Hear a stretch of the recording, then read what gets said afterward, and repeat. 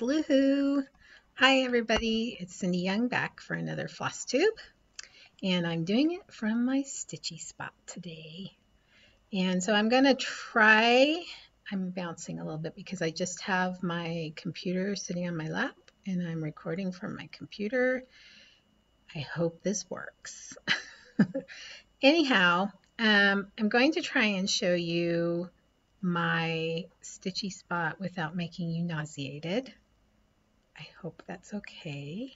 So I'm going to pick up my computer and first of all I'm going to go this way. And You can see behind me I have tweet hearts and this is my Barrel-X lamp that has three settings. I'm not going to turn it on because it might blind you but the really nice part is it has a metal pole so I can stick all my needle minders on it and um, my recliner creates so much static that the threads are often uh, at a horizontal attitude instead of you can kind of tell I think you can kind of see that they're just sort of flying out there all on their own.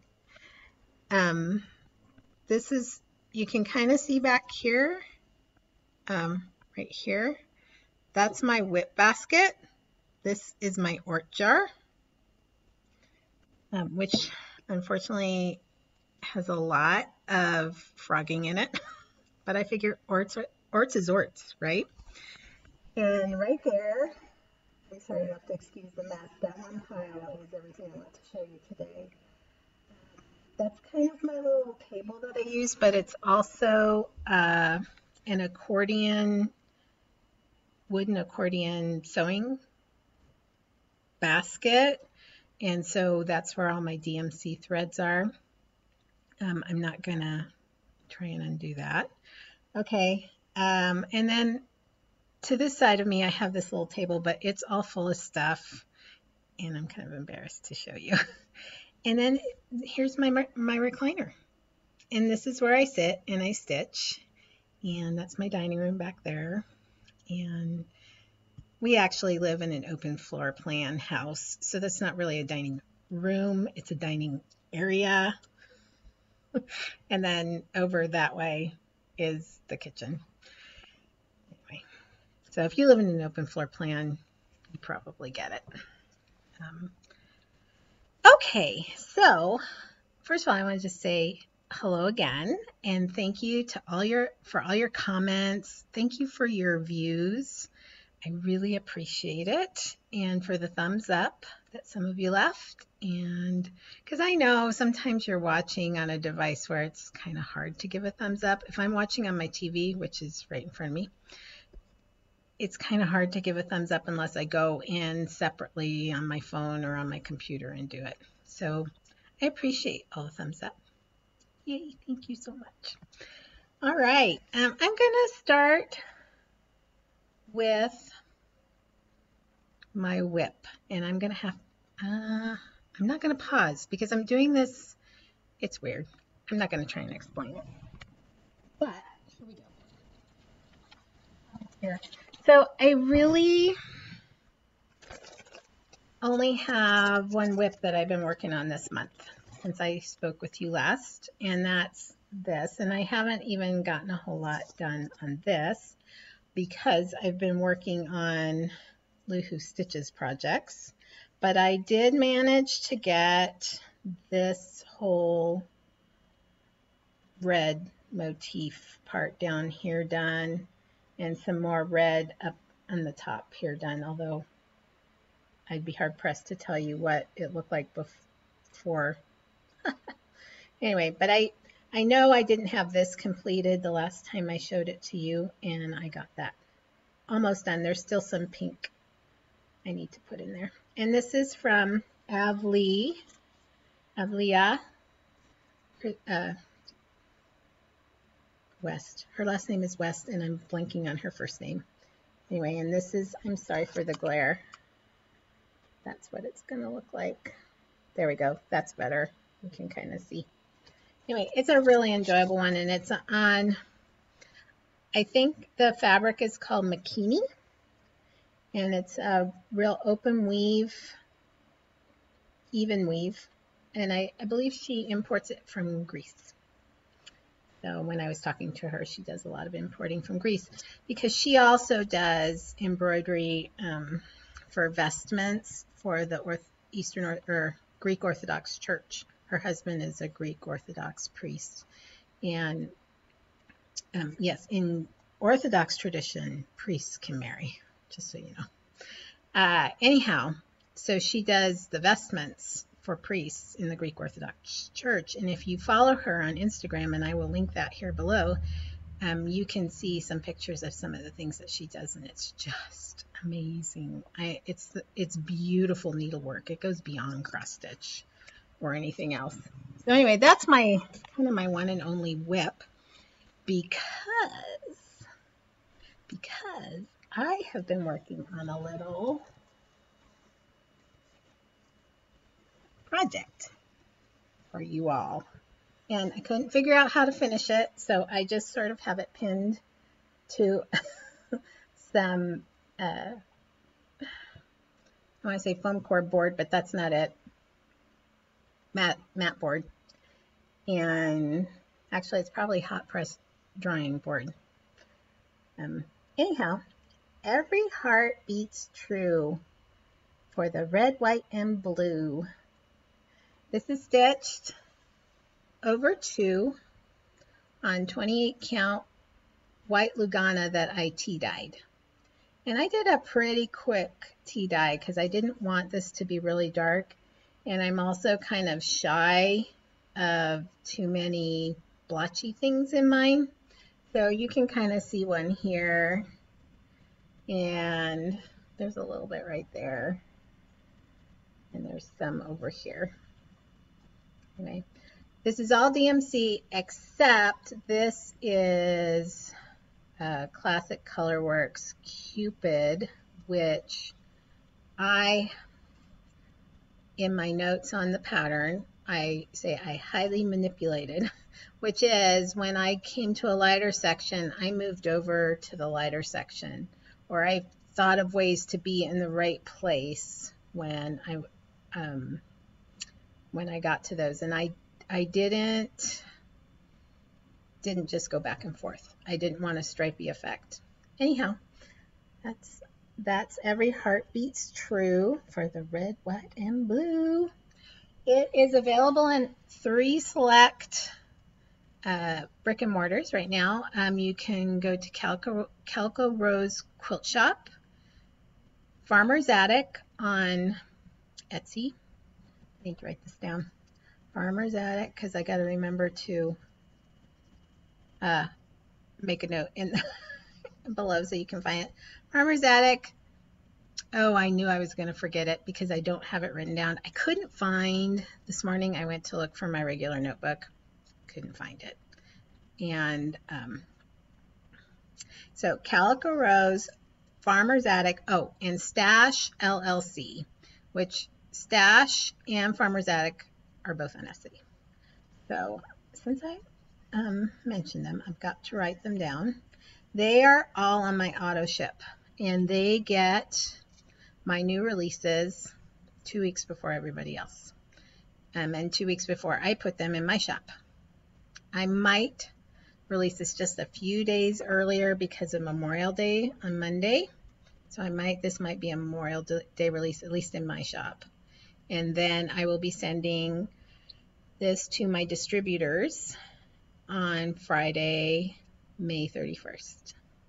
So anyway, here's the pattern booklet. And it's a it's a it's more than my usual two pages because it's a hundred and what did I say? 128 stitches wide by 83 stitches high. So in order to give you a good chart to look at, I had to um, print the chart on two separate pages. Um, my cat is meowing to come in, and my daughter is in the back of the house. So eventually, hopefully, you will see my daughter walk right there and come get the cat and let her out of the garage before she starts clawing the door. and that's my calico who never makes herself seen. You can be thinking, you guys, if you watch me about two floss tubes ago, my little white cat, actually she's a big white cat, um, we call her the bleached beached whale. She weighs 13 pounds. Anyway, she's really sick. She's got a cold and she's snuffly and having a hard time breathing. And I took her to the vet yesterday and they gave her a shot antibiotics. We're hoping that's going to take care of it. And anyway, poor little thing. So back to Every Heart Beats True. We'll be in wide release on May 31st and limited release before that. So, but I will link below where you could go right now and get a copy. If you would like to see this in your LNS or your favorite Etsy shop, let the owners know. And they can order it either directly from me or they can order it through Hoffman or Yarntree. And um, so that's that. Okay, next is my last release for the summer series in the Little House collect or not the Little House collection, Little Fling collection. And this is August Little Fling, and you see we've got a piece of watermelon and some sunflowers, and these little things are supposed to be marigolds right there. Anyway, it's a nice quick stitch. It's done with uh, DMC, Classic Colorworks. There might be some weeks and Gast in there. I'm not really sure. Gentle Arts. Um, every one of these has a different, I tr I'm trying to keep the series generally the same, uh, but I'm drawing from lots of different threads for each one of these, and so I forget from one to the next what I chose. Anyway, but it is all a part of the Little Summer Fling series. And this banner was released last month. Uh, and the Strawberry and the Patriotic really released a, uh, this is almost two years ago, I think, and this was last year. So there you go. You can find these in my Etsy store. You can find, and more about Etsy in just a little while. Um, you can find these on my website, all which will be linked before. And then, of course, please, please, please go to your LNS and order from them or look for them or just tell them, I want little flings, summer, I want little, I want, who am I? You know, I just have to say about this whole sheltering in place thing. I am beginning to lose track of days, who I am, and how to speak English. Just saying. Anyhow, ask for Luhu Stitches Little Summer Fling series. And there you go. Okay. So those are my new releases.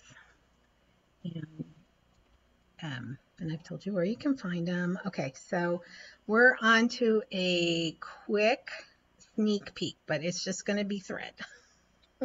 Not going to show you what I've been stitching. So I, you know, when I was talking about whips, I basically have been stitching on Every Heart Beats True, and then my piece that I'm doing all in sulky threads in which there will be a thread pack to go with it. So I am going to show you the threads that I am using for the thread pack. And I'm probably going to be super excited when the thread pack is all ready and I can show you that. So I'm trying to make my computer flat so I can put my threads on there. So there are flowers involved in this, and these are the flower colors, and then this one. These are the flower colors, and now you can hear my cat scratching at the door. I asked my daughter to please be aware and I don't want to yell for her right now. But those were the flower colors. This is the center of the flower. These are leaf colors. And there's a bow involved. And then there's a certain type of fluffy creature involved. And this is what color the fluffy creature is. These are all sulky threads. And last time I talked about some of the features of sulky thread. Um, this is a 12 weight thread. Oh gosh, I don't know what to do here. Okay. I will be right back. I'm going to move you around so that you can see the rest of my family room.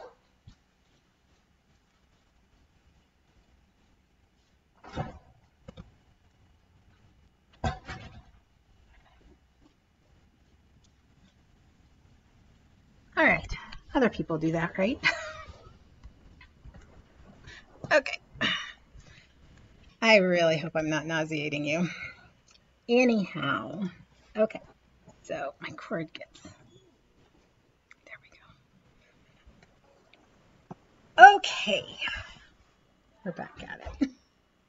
I hope you're laughing and not going, oh my gosh, I can't watch this woman anymore anyhow, I talked about the different features with sulky, bulky, and one of the things is the cool way you can um, finish off your thread and store your thread in that the little top here pops up so that you can wrap your thread in there. I should be doing with this with a different color and then snap it back down. So let me do that with a brighter color. This color is 1188 red geranium. Color. Just gonna say, I love this color. So you pop up the top here. You kind of have to do it in two parts. You can undo your thread and then you can wrap your thread around it and pop it down. And then you aren't getting threads all tangled up.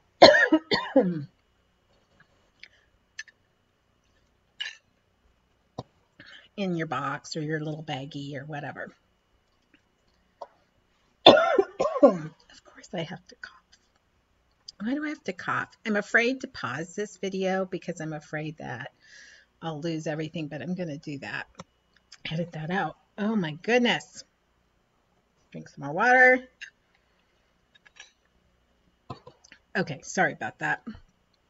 Alrighty. So where was I? Okay, so that's the deal with sulkies. Um, they'll be in a thread pack that I'm working with Sulky on right now. And then I am going to be taking pre-orders for this particular release. And more about that in the coming days. Anyhow, um, that's sort of the sneak peek. it doesn't really show you what the pattern is, but it gives you a little idea. So um, I did have a question last time about sulky threads. And the question was, would you use two threads over a 28 count or 14 count fabric? Um, the kind of the point of working with the sulkies is you only have to use one thread. It's a 12 weight, which means it's heavier than your DMC threads. However, it's not going to give you the same coverage on a 28 or 14 count fabric in one thread, but it's going to be too heavy if you use two threads.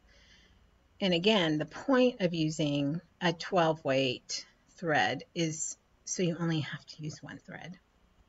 So I personally recommend that you work on at least a 32 count fabric in order to um,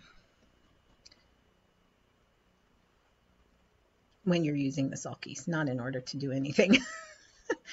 when you're using the sulkies, use at least a 32 count fabric. That seems to be kind of everyone I've talked to, kind of their thoughts on it as well. So um, that was my one and only question. Yeah. So um, I have been buying things. oh, I wanted to show you real quick. Here's the card that uh, that uh, August little fling, fling comes on. Anyway, it was on the pile here. I had to pick it up and show you. So I have been purchasing things.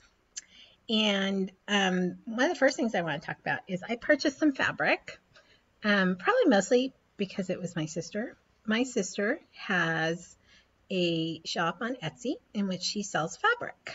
And recently, because everybody's making face masks, her business has taken off. And I like I like to buy fabric. I never do anything with it or very rarely do anything with it, but it's hard not to hard not to buy the fabric. So I bought two different things from her. One her the name of her shop is Quilt Heart. And this is one of the fabrics with the little foxes on it. We have a little joke in the family about a word that be kind of sounds like fox. And then kind of this is a coordinating fabric. So I think I might try my hand at making a project bag. Maybe, I don't know. Uh, and then the other, other one was, oh my gosh, those seagulls and clothes.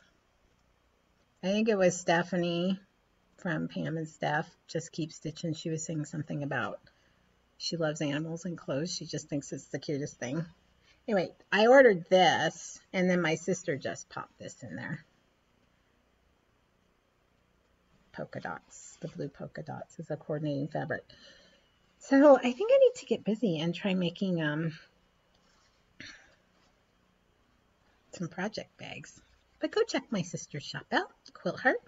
Um, she is in the process of getting lots of cool fabrics. I've kind of been in on the choosing of that a little bit, just a little, not a lot. Um, but she's stocking her store and it's looking awesome. So if you're looking for finishing fabrics or you are looking for fabric to make face masks, she buys high quality quilting cotton and she doesn't sell any cheap stuff. I think she will be looking into selling some other things as well. Some notions, maybe batting, that kind of thing. I don't know if she's actually thought about batting. I need I need to text her and tell her. Okay, the other purchase I made that I was had fun and um, oh, I better write this down. So I got to write quilt heart down. Quilt Heart. These are all people I have to tag. Quilt Heart. And then the other people I have to take are Starlight Stitchery. They are a brick and mortar in Corvallis, Oregon, which is just up the road from me about five hours, maybe four. Anyway, um, they kind of put a little plea out on social media that they needed some help with people buying things because they needed to make their rent. So when I saw that, I thought, okay, I don't need a lot of excuse to go buy things, but I thought I want to go in and put a hefty order in for them. So I did, and I bought Tiny Modernist Folk Art Sampler. I believe this was her market exclusive. It is just adorable. I was thinking I would like to try doing it on the bikini from Avlea and Krista West. That's her name from Avlea. Anyhow, uh, and possibly use a different type of thread that Sulky has. Um, so I'd have to do some color matching. I don't know. I'm not sure Sulky has this really beautiful deep blue tealy color. So we'll see. Anyhow, I'll have to see what thread that actually is with the DMC. So I got this.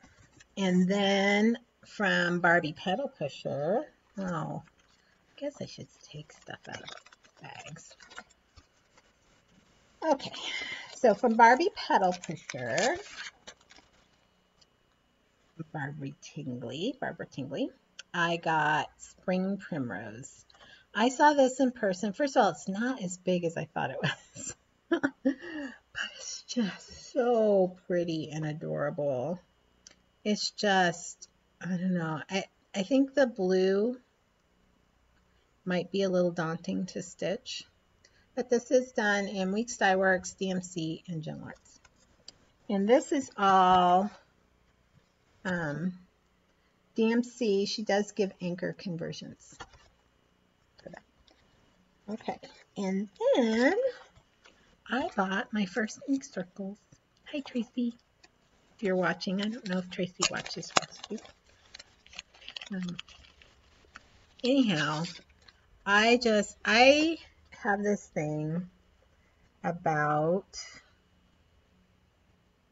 the fall when I see the brightly colored trees up against a beautiful blue sky. And I just think Tracy has captured this. And I, I have, and I think I have enough of it. I have the perfect fabric for this. And I am going to, uh, someday, I don't know when I'm going to stitch these. I mean, you see, I did work on two of my own projects and I barely have time for one, a few stitches in one whip.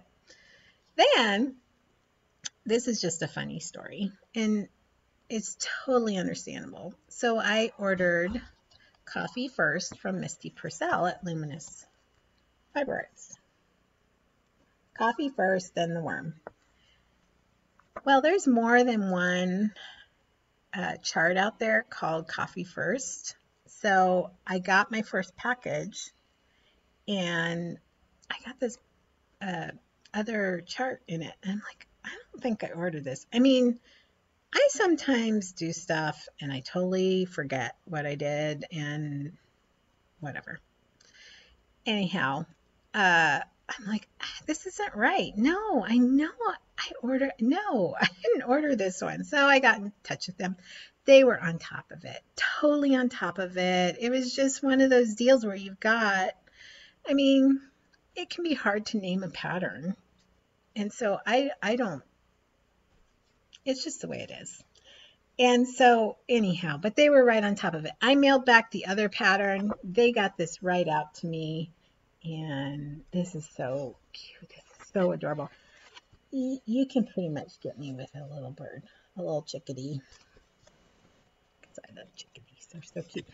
So this is charted Weeks Dye Works, Crescent Colorwork, or Classic Colorworks, DMC, and that's it. So, and she gives all her DMC alternatives for fancy flosses. So really cute. Very nicely put together pattern. All of these are really nicely put together patterns. I mean, I wasn't expecting anything less. The other thing that I haven't opened up yet is I got a pair of snips. I think I needed to, I wanted to get to a certain number when I was ordering from Starlight, and this kind of just put me right there. So I got these cute scissors. I guess I should have taken them out. I don't know. It's like bomb-proof packaging though, so. But it's got like a really nice little cutout pattern.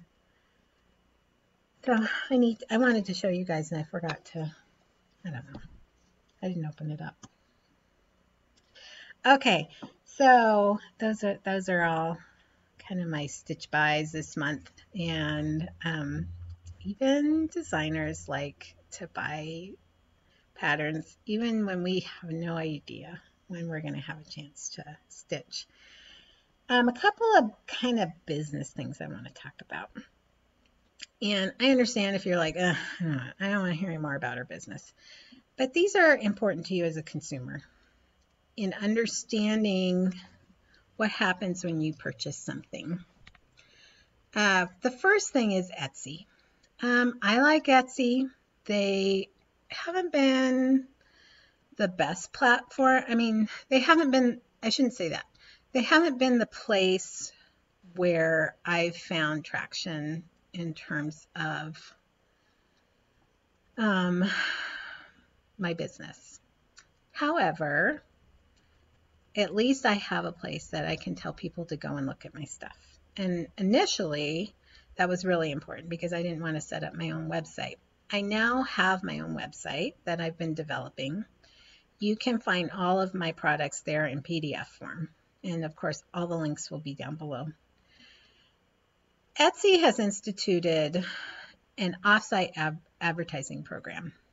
And as a maker, you're automatically signed up for that. You don't really get a choice initially. You can go in and unsign up, but um, you're automatically in.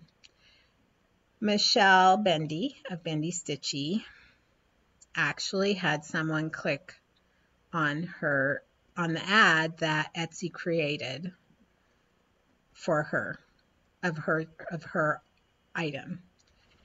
And then someone purchased as a link, you know, they clicked on the ad, took her directly to her store on Etsy, and then the person purchased something. And I'm sure they're completely unaware. But Etsy takes 15% of the profit from that on top of what they're already taking as a commission. So for an $8 item, they took $1.50. Now think about that. that means she's almost she's that's like that's that really reduces her margin in in her in what she's making.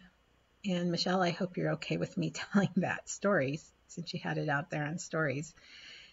So if you see ads for Etsy on Google, don't click on them. Instead, institute your own search, go to Etsy, find what you're looking for, and order directly that way. Otherwise, the person who's taking the hit on that is me, the maker. And when you're not selling a $150 item, that's a big hit. But even if you are selling a $150 item, that's like, uh, let's see. So if you're selling a $150 item, 10% would be $15 and 15% would be 2250. So 2250 of that $150 item is going to Etsy.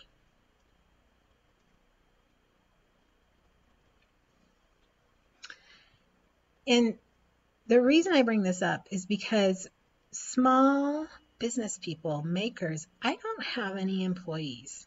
M Michelle Bendy Stitchy, she doesn't have any employees. Better write her down. I'm mentioning her. Um,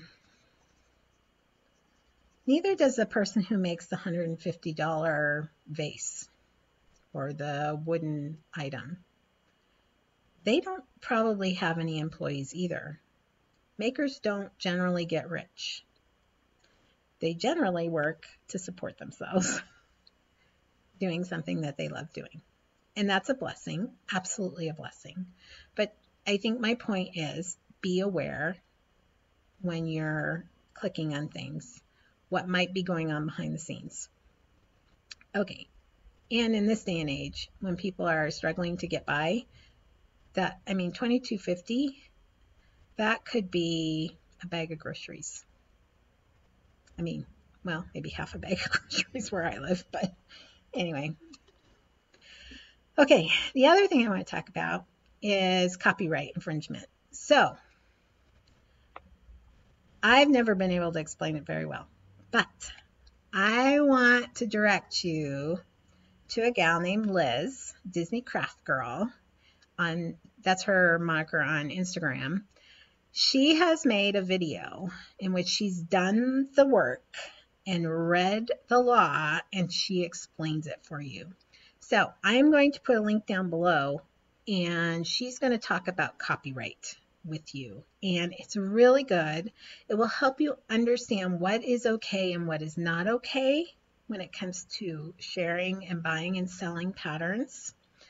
Um, and it's encouraging for a designer because to hear someone, a consumer, saying, hey, we need to be careful about this because it's literally when I'm going to let her explain it. She does such a much better job than I do. anyway, click on that link below. Check it out. It's not terribly long. I think it's like 20 minutes long, but it's worth the time to understand about copyright. And um, so that's all I'm going to say about that. All right, so that's pretty much it. That's all I have to say today. Thank you for putting up with me. I hope you aren't nauseated from all the moving around. and uh, my kitty is now um, happily laying down on one of my magazines on the couch. At least she didn't choose my needlework. Score! Um, I might be making another video pretty quick here, um, just so that I can announce um, more about my um, sulky thread pack and the release that goes with it. And that will probably be a pretty short little video. Anyway, thank you very much for coming by and saying hi. And um, uh, please comment below. Um, if you aren't a follower, please follow and hit the little bell next to the subscribe button so that you can be notified when I'm doing a when I actually get a video up. I'm trying really hard to do that once a month.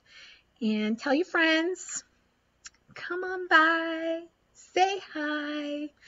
And next time I won't do quite so bouncy a video sitting here on my in my stitchy chair in my recliner. So thank you so much and ha happy stitching.